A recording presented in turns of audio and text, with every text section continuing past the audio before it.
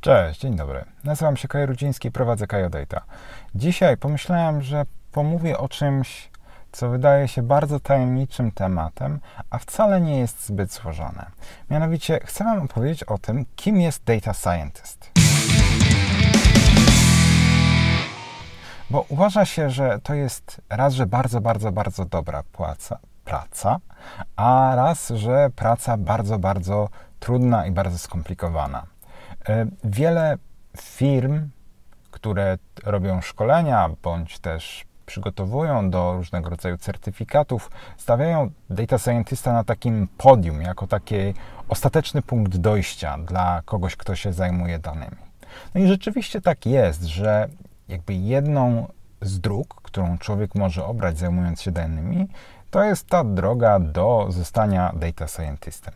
Natomiast mm, Scientysta, czy też data scientysta często trochę charakteryzuje się jak jakiegoś magika, jako człowieka, który niemalże na podstawie danych przewiduje przyszłość, ba nawet nie na, na podstawie samych danych, bo on te dane też sam zdobywa. To jest po prostu człowiek, który osiągnął tak nieprawdopodobne zdolności matematyczne, że jest w stanie przewidzieć, jaka będzie przyszłość, ile jutro będzie kosztował bitcoin, czy warto kupować bitcoina, ile jutro będą kosztować mieszkania co zrobi nas rząd, jakie będzie zatrudnienie, co sprzedawać, co kupować. Rozumiecie, nie? Więc wydaje mi się, że dobrze byłoby poruszyć ten temat, bo rzecz wcale nie jest tak złożona. No więc, czym się zajmuje data scientist? Data scientist zajmuje się predykcyjną analityką, zgoda, albo przeprowadzaniem różnego rodzaju eksperymentów na danych, po to, żeby biznes miał z tego jakąś wartość. I teraz jak to wygląda? To zależy oczywiście od firmy i zależy od firmy, jakby która z tych rzeczy, którymi data scientist się zajmuje, o których zaraz opowiem, ma mm, jaką proporcję. Natomiast to jest po prostu kilka powtarzalnych rzeczy, które wykonuje się przy użyciu umiejętności, które się posiada. Na początku data scientist idzie do człowieka z tak zwanego biznesu, czyli idzie do, nie wiem, do menadżera, idzie do sprzedawców i próbuje się zorientować, o co chodzi, co jest problemem. I tutaj tak naprawdę chodzi o zwykłą ciekawość i umiejętność zadawania pytań. To trochę przypomina to, co robią dzieciaki, kiedy pytają, a czemu, a czemu, a czemu. No więc data scientist jest takim trochę dzieciakiem w firmie. Idzie do sprzedawców i mówi, e, co chcecie mierzyć? A oni mówią, no chcemy mierzyć, chcemy mierzyć, czy nam firma rośnie. A czemu? No bo chcemy wiedzieć, czy więcej zarabiamy. A czemu? A jak to mierzycie? No mierzymy to w ten sposób, że sprawdzamy, czy nam ta sprzedaż wzrosła. A czemu używacie sprzedaży? No bo, no bo jak inaczej mamy to mierzyć? A czemu nie na przykład przez marżę? A czemu przez, nie przez redukcję kosztów? I tak dalej, i tak dalej, i tak dalej. I zadając te pytania, dochodzi do problemu, który jest w stanie zmierzyć.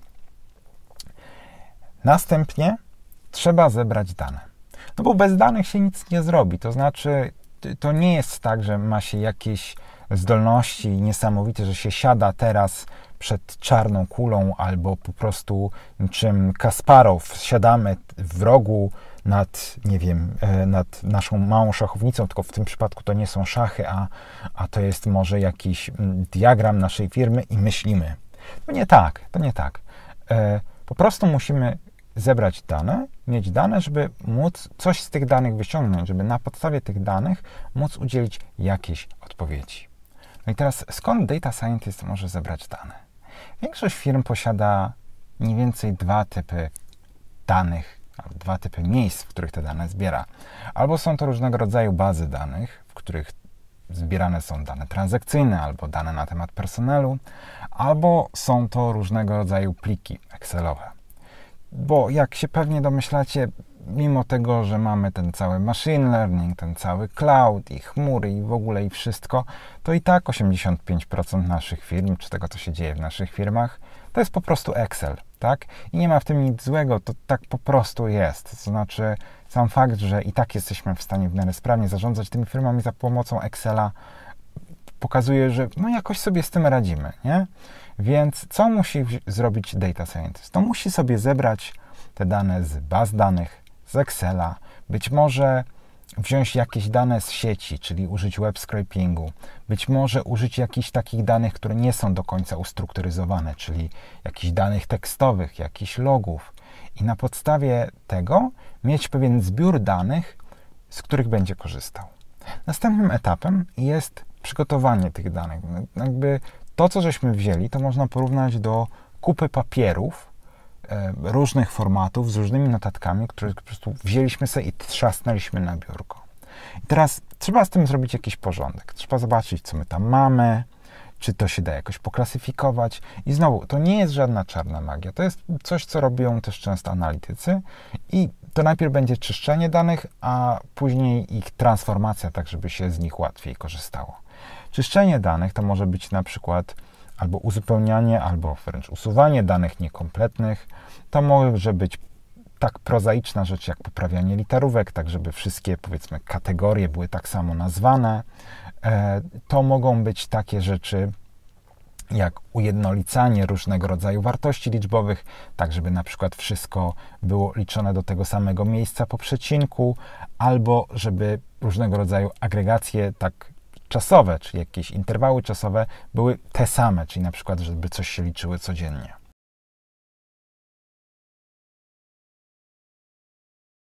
Później te dane trzeba jakoś przetransformować, czyli ujednolicić, tak, żeby dało się z nich korzystać. Gdybym miał bardzo, bardzo, bardzo uprościć, to mógłbym powiedzieć, że trzeba byłoby te dane przygotować tak, żeby to była albo jedna gigantyczna tabela, albo szereg tabel ze sobą połączonych.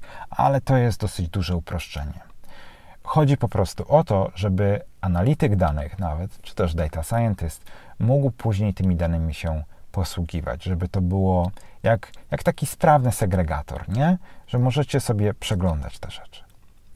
No, i docieramy do tego punktu, gdzie mamy przygotowane te dane. Czyli zobaczcie, do tego, do tego momentu to nie są jakieś rewelacyjne rzeczy. Do tego momentu mamy zadawanie pytań biznesowych, mamy zebranie danych z różnych źródeł i mamy uporządkowanie tych danych. I teraz zaczyna się część, która dla ludzi będzie się wydawała jakąś taką czarną magią, bo będą padały takie zwroty jak machine learning, AI, decision tree i tym podobne, tym podobne rzeczy. Natomiast da się to dosyć moim zdaniem prosto powiedzieć. Chodzi o to, że mając dane i teraz jakby używając tych danych, możemy coś z nimi zrobić i odpowiedzieć na jakieś pytanie. I zazwyczaj pytanie brzmi, co się stanie jeśli, albo co się stanie. I najprościej mówiąc, albo będziemy robić różnego rodzaju testy AB, gdzie będziemy porównywać ze sobą dwa zestawy danych w dwóch różnych środowiskach i będziemy patrzyli, czy e, dane zachowują się inaczej względem swojej grupy kontrolnej, czyli takich danych, którym, które są jakby powiedzmy domyślne i znowu upraszczam bardzo, albo druga rzecz, to znaczy bierzemy sobie pewien zestaw danych, dzielimy go sobie na też na części i sprawdzamy, czy jakby budując jakiś model z danych, czyli jakiś taki sposób interpretowania tych danych, że jeśli coś tam, to coś tam, to jesteśmy w stanie, w stanie stworzyć model, który na przykład przewidzi nam, jak te dane będą wyglądały za miesiąc. Przykład. Czy na podstawie tego, jak wygląda nasza sprzedaż w kolejnych dniach tygodnia i patrząc na to, jaka była pogoda, czyli na przykład czy padało, czy nie padało, czy ludzie bardziej siedzieli w domu, czy nie siedzieli w domu, jesteśmy w stanie obliczyć, jak będzie rosła nasza sprzedaż w deszczowe bądź niedeszczowe dni, albo ile będzie zamówień. I to nie jest tak, że to wszystko trzeba tworzyć od zera. To nie jest tak, że trzeba stworzyć od zera komputer. E, istnieją różnego rodzaju języki programowania, i narzędzia nawet, które nie są do końca, e, jakby nie są do końca, nie są po prostu językami programowania, które są na takim poziomie low code, gdzie mówimy o rzeczach typu Alterix, tak jak ostatnio, kiedy rozmawiałem z Emilem o Alterixie, albo tak jak Nime, które zajmują się zadaniami z, z pokroju data science, niekoniecznie korzystając z kodu. Dobrze, żebyśmy rozumieli statystykę i żebyśmy umieli, nie wiem, na przykład rozmawiać o prawdopodobieństwie, wiedzieć jak wykonać te wspomniane wcześniej testy AB, ale to wszystko dzieje się przy pomocy oczywiście pewnych umiejętności matematycznych, statystycznych, które posiadamy i także tego, co oferują nam współczesne narzędzia. Więc znowu, to nie jest um, rodzaj jakiejś niesamowitej czynności, która przypomina wrażenie z czarnej kuli. No i teraz, jak już mamy te dane, to trzeba się zastanowić, przepraszam, jak już mamy ten jakiś model, mamy jakiś ten wynik z tego testu AB, trzeba się zastanowić, co z tym można zrobić.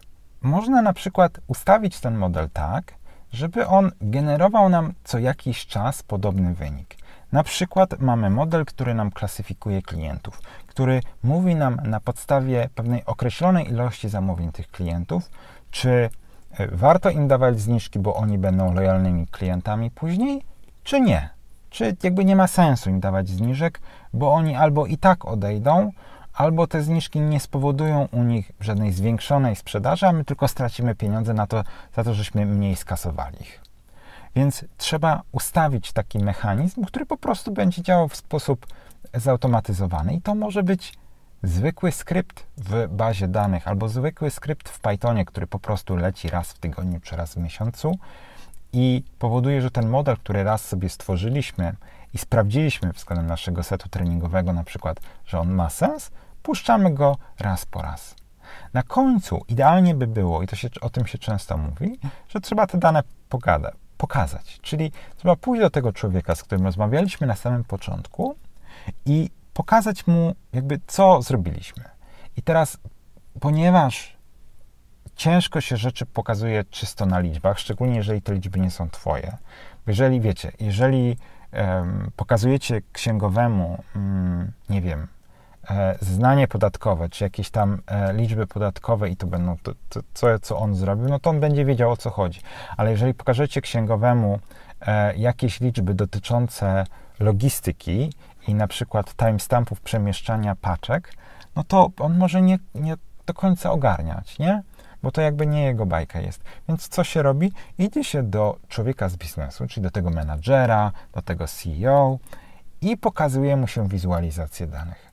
Czyli pokazuje mu się na przykład, no, tak wygląda nasza sprzedaż, tak? To jest jakiś tam wykresik, który rośnie, spada, zagina się czy coś. A tutaj nasz model pokazał, że będzie tak.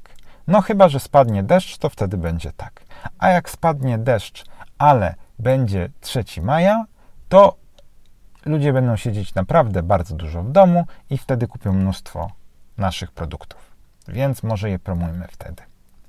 I tyle. I to jest może nie cała robota data science, nie cała praca data scientista, ale to jest takie spektrum, w którym on się przemieszcza. Więc oczywiście jest tu dużo umiejętności, bo to są i umiejętności miękkie, i taka wiedza na pograniczu wiedzy eksperckiej z danego biznesu. I to jest wiedza do tego, jak się tworzy te modele, jak się sprawdza, czy ten model działa, czy ten model nie działa. Natomiast myślę, że nie ma potrzeby mówić o data scientistach jako o kimś, kto przewiduje przyszłość. Popkulturze jest to często przedstawiane teraz jako taki bardzo seksowny zawód, jako taki ktoś, jako taki, takie połączenie Clark Kenta z Kasparowem, z kimś, kto jest jednocześnie fancy, kto jest bardzo technologiczny, kto patrzy na jakieś liczby i niczym Neo jest w stanie powiedzieć, jutro sprzedaż wzrośnie o 2,73%.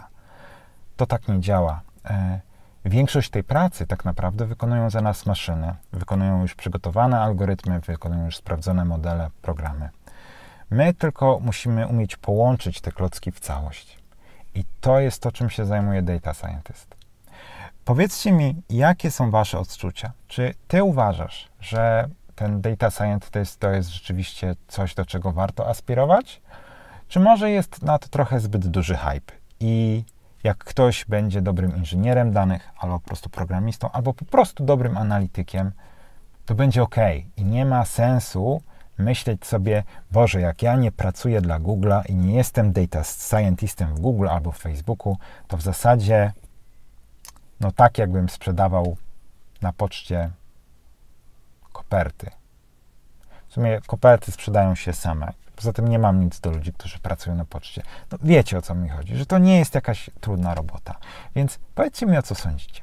Poza tym ogarnijcie sobie mój kanał, zasubskrybujcie go, bo tutaj jest dużo różnych fajnych rzeczy. I takie miękkie gadki jak teraz obecnie, i coś, co pozwoli Wam się przygotować do rozmów, rozmów kwalifikacyjnych i techniczne tutoriale, na przykład z Tableau czy z Excela, więc ogarnijcie sobie mój kanał, zasubskrybujcie, zostawcie łapkę w górę. To tyle na dzisiaj. Dzięki.